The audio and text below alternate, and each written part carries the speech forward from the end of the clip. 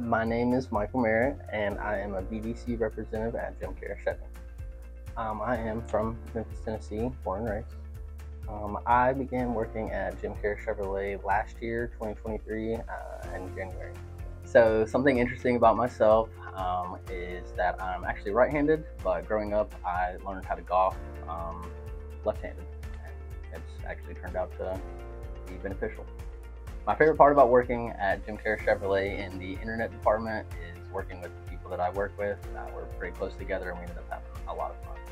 Thank you for choosing Jim Keras Chevrolet. I look forward to helping you find the perfect vehicle.